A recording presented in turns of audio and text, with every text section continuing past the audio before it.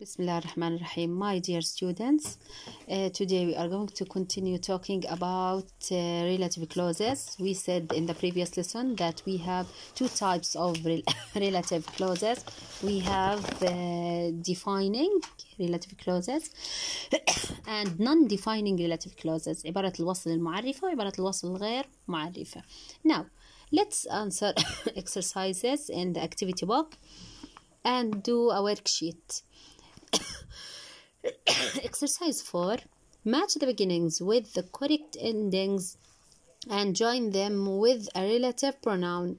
Then write the sentences out in full. The first one is done for you. طبعا معطيني أنصاف جمل والجمل هاي بدنا نربطهم مع بعض ب relative pronoun ضمير وصل وبعد هيك بدنا نكملهم. A mathematician is someone. Mathematician اللي هو عالم الرياضيات is someone.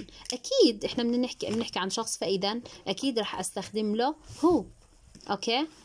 Is someone who على طول شو بيعمل عالم الرياضيات؟ Who works with numbers. Who works with numbers. اللي بيشتغل بال... بالأرقام. فإذا A number one with C. أوكي؟ Number two. Geometry and arithmetic are subjects.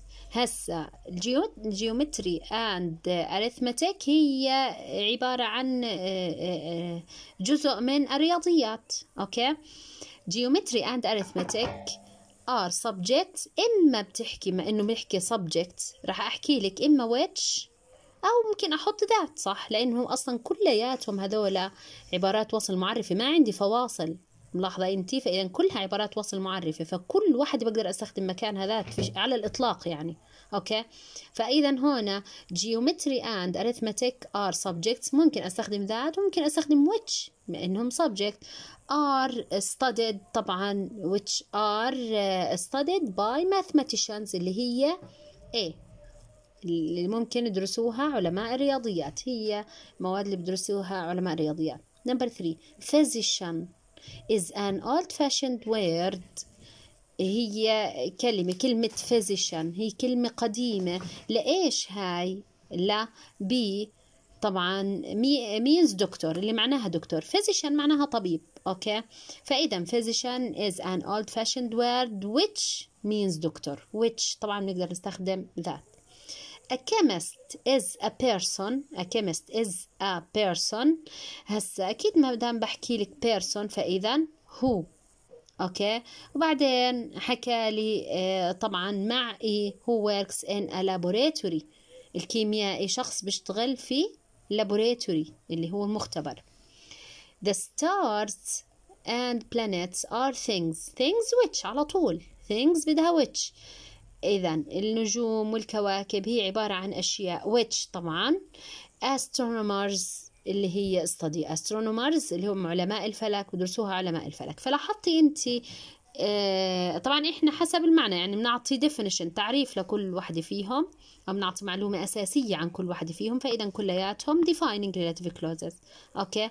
لكن اللي بدك تنتبهي له إحنا someone who في عندك subjects which word which. Person who things which عرفتي وإنهم كلياتهم بقدر أستخدم ذات لأنهم defining now look at exercise 5 complete the text about Ibn uh, uh, complete the text about Ibn Sina using the relative pronouns in the box هسا كل المعلومات اللي أعطاني إياهم عن ابن سينا one pronoun is used twice add commas. يعني شوفي هنا أضيفي فواصل أنت. يعني أنت اللي بدك تحددي لي for the non-defining relative clauses. بدك تحددي لي عبارات الوصل الغير الغير معرفة non-defining relative clauses. خلينا نبلش فيهم بالبداية. طبعا كيف بدي أضيف فواصل؟ نرجع نتذكر مع بعض. بضيف فواصل على أساس إذا كانت عبارة وصل غير معرفة وعبارة الوصل هاي الغير معرفة بتعطيني أساسا معلومة إضافية. فلو قمتها من الجملة بدي أجرب أجيبها من الجملة. لو كانت جملة صحيحة فإذا بتكون non-defining أوكي؟ Let's begin. ابن سينا. طبعا على طول ابن سينا هو أوكي؟ ومعطيني عندي is فعل وراها فإذا أكيد هو. ابن سينا who is also known as Avicenna was a polymath.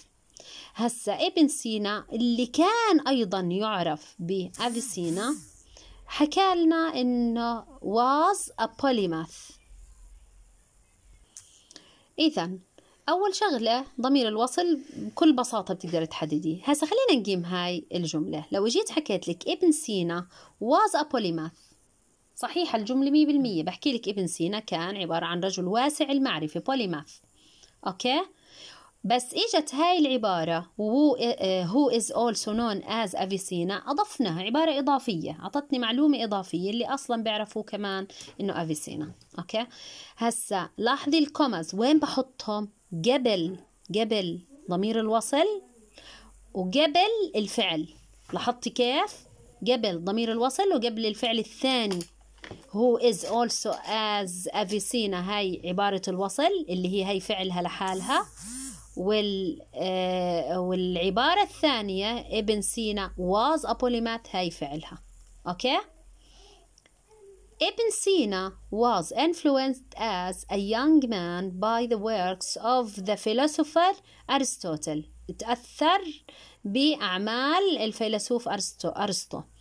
He wrote on early Islamic philosophy كتب في الفلسفة الإسلامية القديمة which included طبعا Islamic philosophy الفلسفة الإسلامية فإذا أكيد which which included many subjects especially logic and ethics الفلسفة الإسلامية اللي كان كثير فيها مواد بالذات ال logic اللي هي المنطق والأخلاق. أوكي؟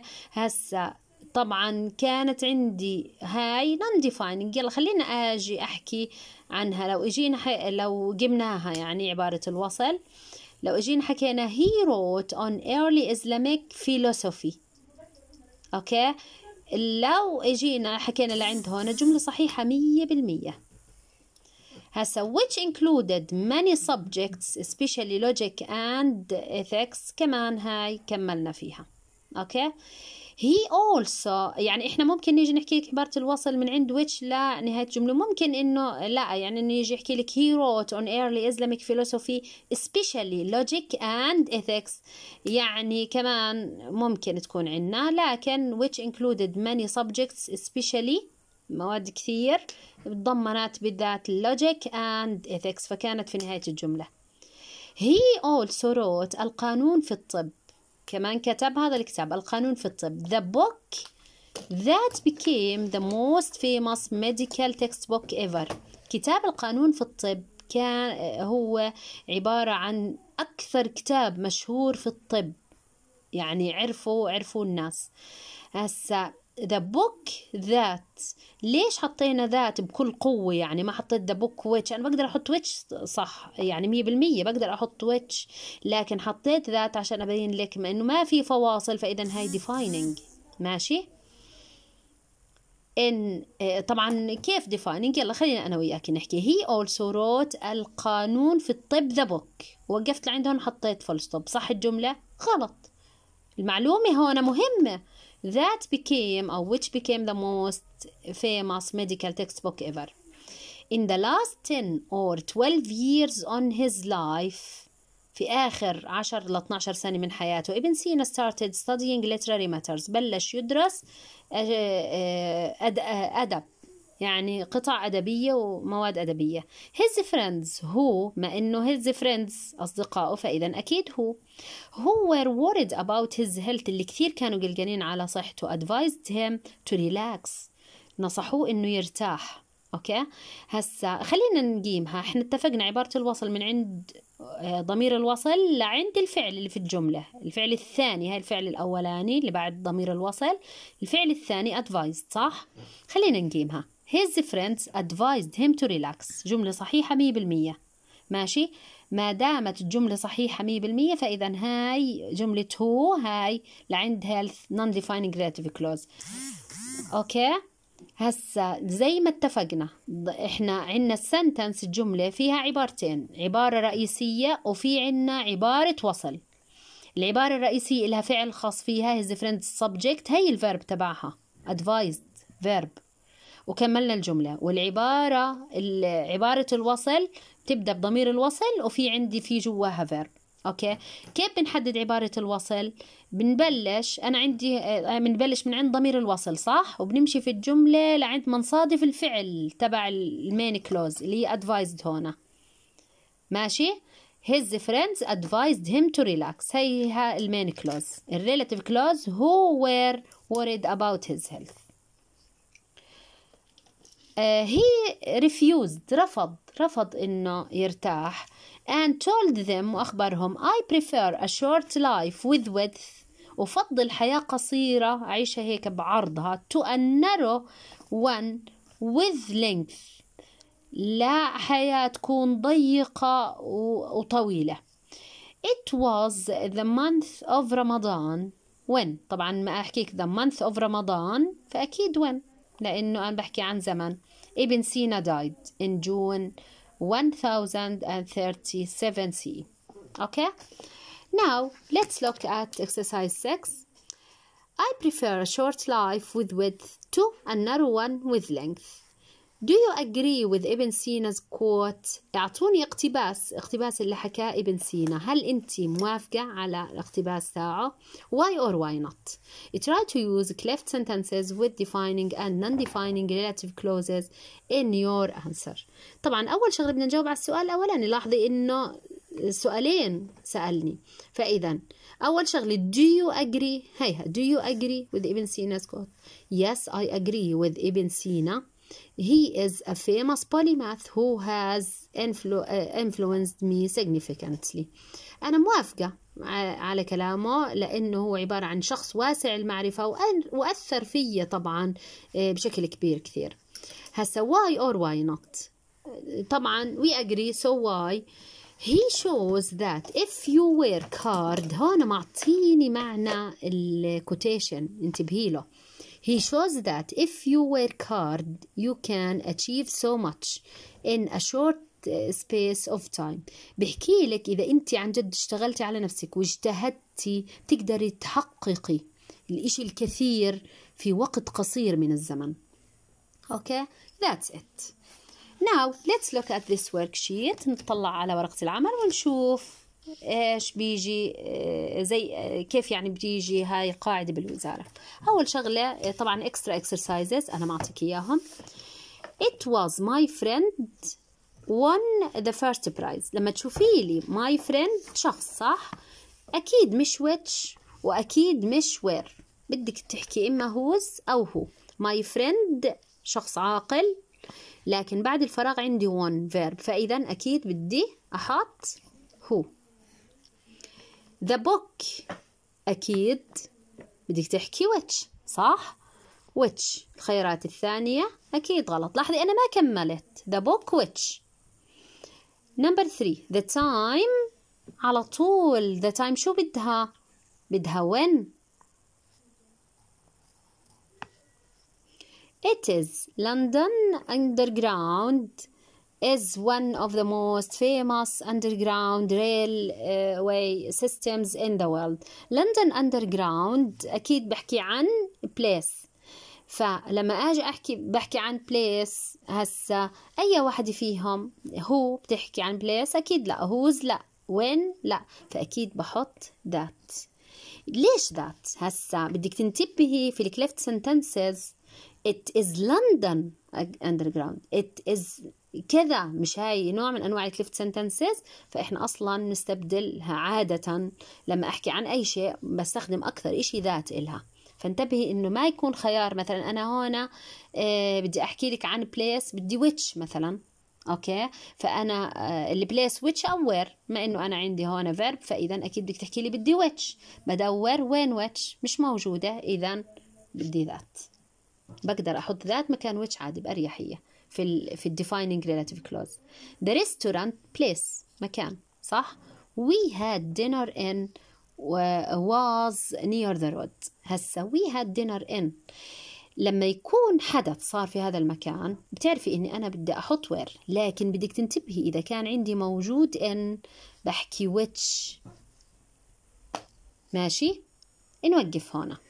هسا the restaurant مكان. الأصل أنت بتحكي وير أو which ما دام في حدث صار في هذا المكان تحكي لي أنا بدي أحط where. لكن انتبهي إنه هنا كانت in هم ما ذكروا لكم إياها في كتابكم يعني صدقا مش موجودة هاي الجملة في الكتاب بس أنا حبيت ألفت نظرك إلى هاي المعلومة. يعني حتى لو صار حدث في المكان وعندي كان in بحط which أوكي؟ At uh, at the roadside we saw a car owner had been injured. هسا آه أكار thing إشي ممكن. لكن أنا عندي هنا owner كمان noun. دايما بين الاسمين بحط whose ماشي؟ car whose owner هاد بين انجرد أنا owner أصلا بحكي عن آه، آه، عن شخص أوكي؟ car's owner اللي هو صاحب السيارة ماشي أكيد حطينا whose لأنه أنا هاي عندي noun و noun number seven the person has influenced me most is my father the person who the waitress اللي هي مضيفة served us was very impolite and impatient فإذا أنا بدي أحط هو لأنها waitress مضيفة وأنا عندي هنا verb the city we first met was in the south the city لاحظي أنا عندي مكان وأنا قاعد بحكي لك we first met was the south حدث صار فيها we first met subject to verb هي تعبر عن الحدث اللي هي where he is the man daughter I met in جرش a man عاقل. هو ولا whose أكيد اللي بحددها اللي بعد الفراغ. ما دام هاي noun فإذا whose قصر بشير is an extremely well preserved Roman castle in the Jordanian desert. أكيد أنا بحكي عن مكان لكن ما دام عندي هون is situated لاحظي لما يكون حتى لو مش فاهم معنى الجملة يكون فعل يعني قبل الفراغ مكان وبعد الفراغ فعل فعطول بتعرفي إنه بوصف. فإذا which أعطاني وصف إلها واقعة على في الصحراء الأردنية. In قصر بشير there are 23 stables horses may have been kept. هسا horses subject وهي verb وأنا هون قاعد بحكي عن stables اسطبلات اللي هي نا مكان. المكان بدي أنتبه بعد الفراغ. عندي حدث صار في هذا المكان هم كانوا يربوا فيها الخيول. وإذا مش فاهميتها عندك subject و verb فإذا أكيد where. where.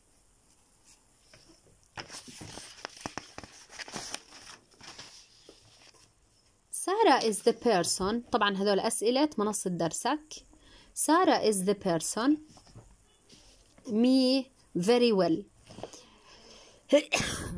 هسا the person أكيد مش راح تحكي which مية بالمية هاي بدك تحذفيها هسا me very well باجي بحكي أحكي the person who she understands me ولا the person who understands me ولا the person who's understand أكيد هاي ما غلط. ليش؟ لأنه who's بيجي وراها اسم مش فعل فهاي غلط. إذا صفينا. هو شي understands أكيد لا. هو دائما بيجي وراها الفعل مباشرة. فإذا the person who understands. me عرفتي كيف عرفناها؟ the person عاقل who بدها صح؟ أو whose اتفقنا إحنا whose ما بصير يجي وراها فعل. فإذا إيش اللي بيجي وراها فعل؟ who. The man son works as a teacher. هسا the man اسم عاقل وبعديها إجا son اسم كمان. فإذا whose son. That's it. نشوف أسئلة الوزارة سنوات سابقة. Most Jordanians are used to the hot weather hot weather الطقس الحار. إيش ممكن أجي أعطيها أكيد؟ Which لأنه بنحكي عن شيء عن طقس شيء. The prize هدى. Won last year was for art The prize كمان الجائزة فإذا هي شيء غير عاقل فإذا which The students cleaned the street طلع the students عاقل وعندك هنا فعل فإذا هو Plastic is the material مالها which plastic is a material material مادة I always go to the supermarket supermarket بتعرفي إنها مكان sells يبيع sells organic vegetables هذا المكان بيبيع كذا بوصف لي في هذا المكان فإذا which supermarket which sells the year بدون ما تكملي the year when وإذا ما في when بتكون ذات لأنها هيك left sentence I would like to take you, you to a cafe مكان serves excellent food فإذا which it was it was جابر ابن حيان invented uh, ink uh, that can be read in the dark جابر ابن حيان شخص invented verb بعديها وإذا هو now look at now look at uh, this uh, uh, this exercise rewrite these two sentences in one sentence using the suitable relative pronoun بدك تكتبي لي هذول الجملتين في جملة واحدة وتستخدمي لي معاها الضمير الوصل المناسب. طبعا هاي الجملة موجودة عندكم في آخر آخر إشي بعد الفصل الأول في ال revision في المراجعة موجودة هاي الجملة. فعشان هيك لازم تكوني عارفيتها. هاي بتخص درسنا. ما شرحوها في منصة درسك لكن هي موجودة في الكتاب وضروري تكوني عارفيتها. لندن طبعا هن جملتين وهذا الحكي مر عليكي وأنت بعاشر. طبعا هسه رح ترجعي تتذكري. بكون عندك جملتين وجملتين هدول بدك تحطيهم مع بعض تعمليهم جملة واحدة تستخدمي لهم relative pronoun. طبعا هاي هي جملة الكتاب. لندن is a huge city. It is the capital of the UK بتعرفي أنت إنه ما دام عندي full stop فإذا أنا عندي هنا جملتين. الجملتين هذولا بدي أدمجهم في بعض وأخليهم جملة واحدة وأستخدم relative pronoun. okay؟ رح يبلش لك بلندن. ماشي؟ اللي هي الجملة الأولى. هسا لما تشوفي إنه بلش فيه وحط لي comma فإذا بده إياني أول شغلة أحط relative pronoun ضمير وصل مناسب إلها وبعدين أعمل هذول الجملتين جملة واحدة. كيف؟ باجي بطلع لاحظي مش على الجملة اللي فيها لندن باجي بطلع على الجملة الثانية. وين الضمير المشترك؟ ات صح؟ ما دام عندي ات هون وبنعرف ات راجعة على لندن بحذفها. ات هسا is the capital of the UK بدي أحط مش حذفت ات من هون بدي أحط ضمير وصل. وإحنا بنعرف عادة لما يكون عندي فعل هنا بحط ضمير الوصل which.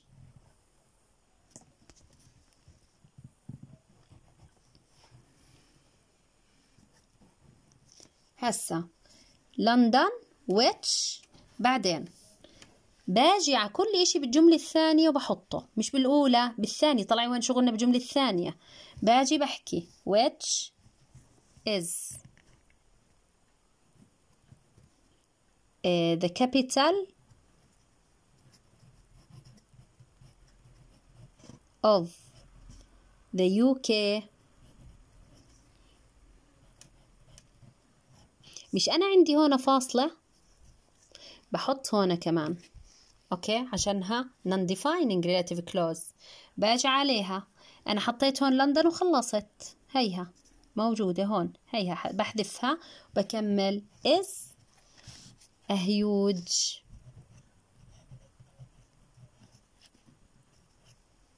city. أرجع أعيد الخطوات شو عملت أنا؟ عندي حاطط لي لندن مطلوب مني أدمج الجملتين هذول وأعملهم بجملة واحدة. فإذا بدي أخلي واحدة فيهم relative clause واحدة فيهم عبارة وصل والثانية بدها تكون المين كلوز ال main clause اللي عادة بكون بلش فيها. عادة عبارة الوصل بتقطع العبارة الرئيسية. عرفتي؟ هسا أنا عندي العبارة الرئيسية بلش لي في لندن. ماشي الحال. بشوف أول إشي شو الضمير المشترك. it عائدة على لندن صح؟ بحذفها. بحط ضمير الوصل هنا which وبحط كل إشي بالجملة الثانية. is the capital of the UK بعدين بنحط فاصلة عشان خلصت الجملة الثانية. فاصلة مش نقطة ديري بالك. فاصلة لأنه أنا عندي هاي فاصلة هنا وفاصلة هنا إذا هاي non defining relative clause. وباجي على الجملة الثانية. ما بحط لندن ما برجع أعيدها. بحكي is a huge city. بحط كل شيء بالجملة. كل شيء بالجملة ما عدا الكلمة اللي بلش فيها.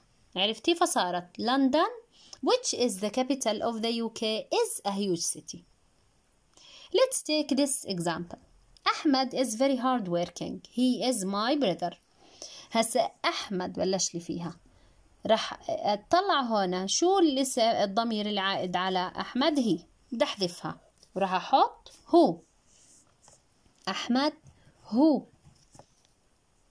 is my brother شو بدي أحط هون كثير مهم؟ الكوما. Is. برجع على الجملة هاي. بحط is a very hard working. انتبهي لها هاي انتبهي لها الفكرة. موجودة عندكم في كتابكم. يعني لو بدي يجي بجيب لك الجملة هاي نفسها لأنها هي اللي مذكورة عندكم بالكتاب. أوكي؟ Thank you very much